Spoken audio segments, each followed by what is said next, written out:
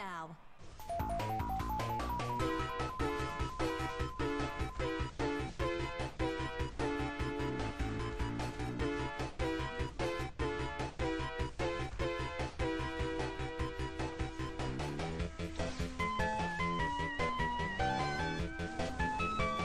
That's very unfortunate. What's going on guys? It's your boy Kash and I wanted to do this video because I've been using that character as a loner unfortunately.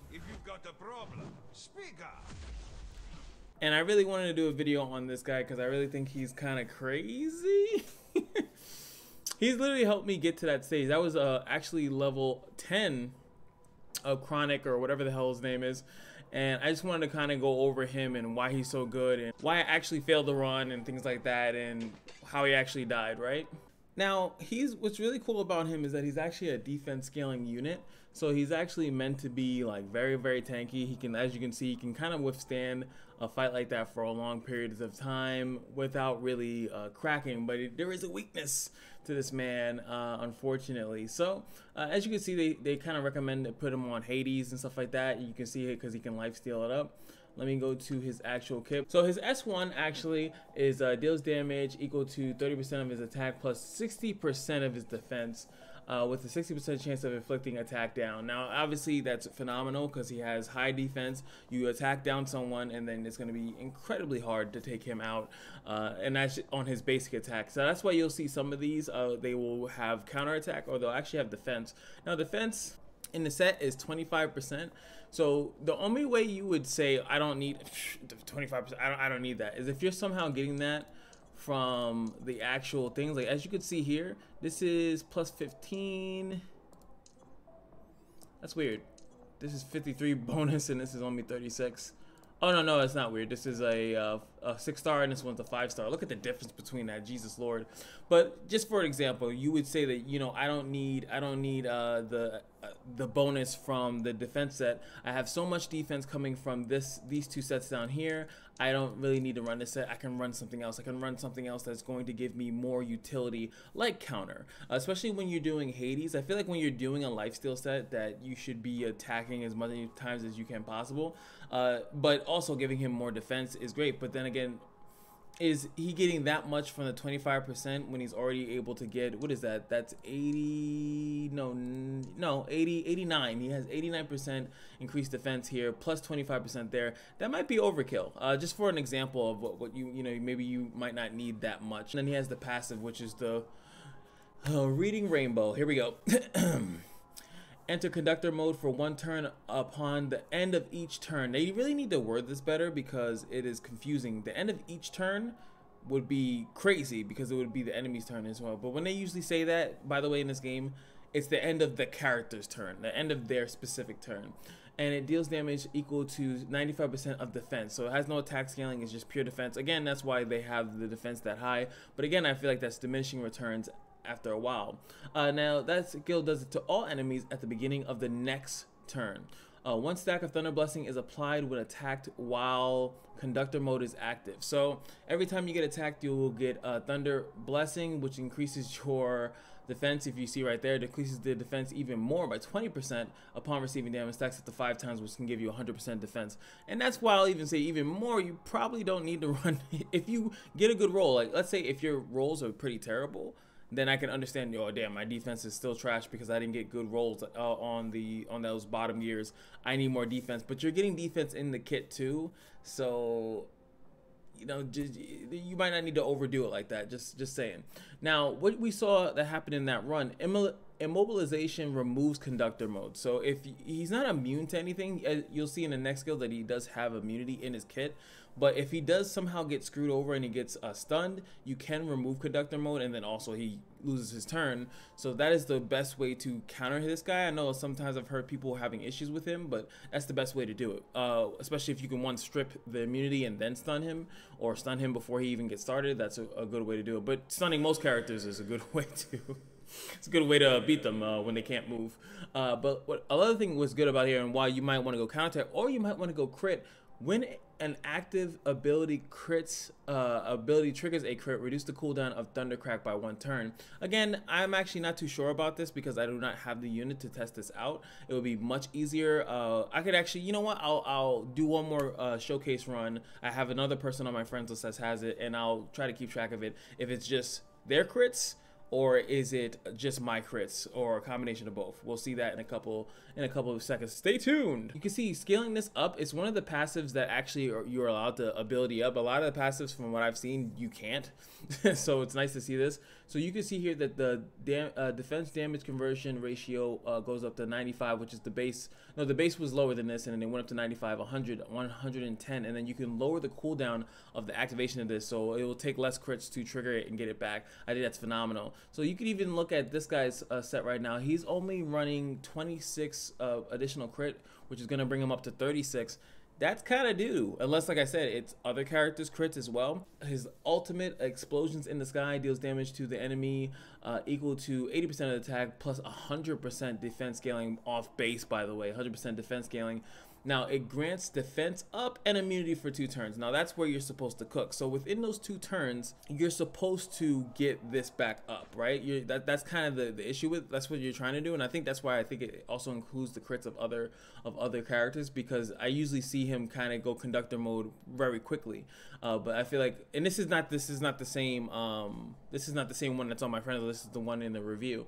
So you can see that you can level up the defense scaling again and then get the cooldowns down one more turn. So he's a pretty solid guy, which I also like here is that uh, he has 30% defense flat, doesn't matter where you're at. So I usually put him as the leader and he does the Lord's work. This character with the Hades set, this is the basic set, like, like I said that you see here. And this this set to me is all you need. Uh, I think that the Hades plus defense or, or crit or like I said counter, if you want to keep that going, is great because especially if like i said if you run a counter and you have enough crit then you keep triggering uh, this thing whether it's enemies or just yours or even your other allies you know then it's all good. You'll be sitting here doing the thundercrack all day and all night and that's kind of what you want.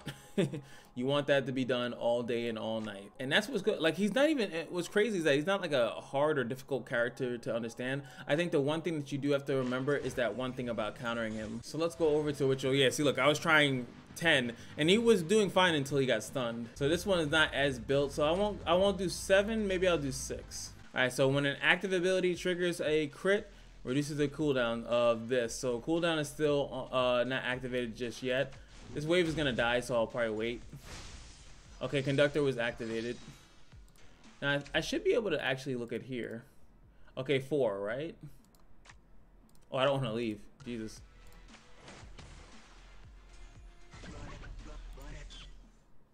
Now it's three.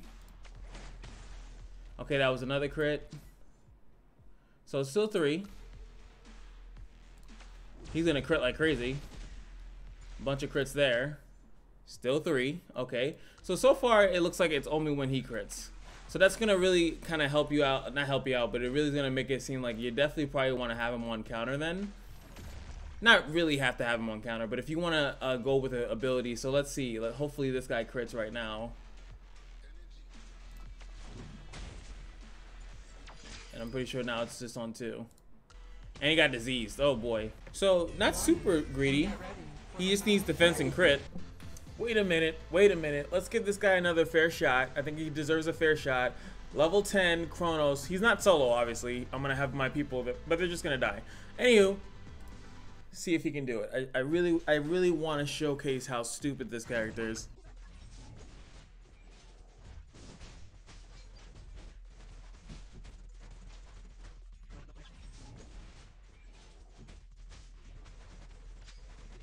Now, outside of not trying to solo things, because you can solo things, I do think that having someone with him that gives immunity is also important too, in case his immunity is down, obviously.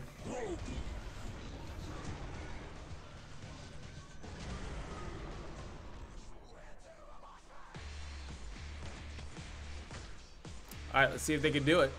I'm hoping his animation triggers his S3 animation. Oh, you're dead. Oh yeah, and this is how you die when you bring in too too many weak characters. They just end up getting blown up. See, he's thinking trigger that time either. He, he wants revenge. See now my guy in the back, he's dead. Now he gets two turns. You can't really bring weak characters into 10, but as you can see, he is, look at that. Look at that sustain. Look at that ability, attack down, so he's gonna stop doing that much damage, plus my attack, 258. You, you wish. You wish you could make him do that little bit of damage. But there, he gets stunned. So, the immunity, um, an inability to hold the immunity. Luckily, like I said, he had the attack down there, but see now he might get stunned again. He did not. What a champion. What a champion. Oh, boom. Okay, didn't trigger again. Come on, man. I want to see it. Wish you could see it in the in the the shop thing, but it's not working. So now he has uh, the immunity, so we're fine. That's a decent amount of damage. Boom, baby. There it is. Conductor plus the immunity. Nope. No stupidity this. Nice try. I appreciate your effort. Yep. I feel like maybe you know what? Almost feel like if I switch targets to uh to like the, the one that's stunning me. Well, he's stunning me in the back, but the other one's doing something stupid too. Uh, that's uh, I think one of them does stun you in the back. Conductor mode. Resisted. Smack them back. Boom. Still don't get the animation. Maybe, maybe, maybe if I if I actually trigger it, maybe maybe he'll actually do it. But as you can see, what is this thing down to less than 50? About to be less than 50. And he got the attack down, which is weird. I don't even think that I, I gotta check this guy's accuracy to see if he even has accuracy. But he's doing the Lord's work. You, you see the Lord's work being done? Because I see it. So, as you can see, like, he's doing really well. Um, I, I don't know how skilled up these things are. I don't, oh, you can't see it from here. Oh, oops. so, it's just the resist here. And it's missing because he's actually elemental advantage in this dungeon as well. That's another thing that I wanted to say. So, he's phenomenal if you happen to... Oh, I was stunned somehow. Uh, he's phenomenal when. Oh, okay. It, wait, is it because I took control? To be fair, last time I didn't take control. Okay, there we go, and I get myself. Come on, come on. I, I just need to see it. I, I, I prefer. Ah, come on. All right. Even though he's not going to do anything different than I wouldn't do. The AI is just going to use the S3 whenever it's available, so there's really no reason for me to specifically take control. And he should hit him with the uh, the Mega Zap, and that should get all his HP back. There it is, 15k, uh, zapped right back, so right back to the beginning. And he's missing. There goes another attack. Conductor mode. I think we'll get it. This will actually be my first clear as long as as long as everything stays on on course here. Oof. Then as you can see how important the Hades set is, the Hades set you, you basically need Hades. You can't you can't do this without the Hades set uh, sustain like this and keep keep them afloat and stuff like that. Uh, look at that. Solo, Kronos 10 pretty much. The other characters died very relatively. The other, other characters actually hindered him by giving him those resets what could have, you know, gave him two turns and killed him. So I'd say that having the other characters there actually was more detrimental than anything.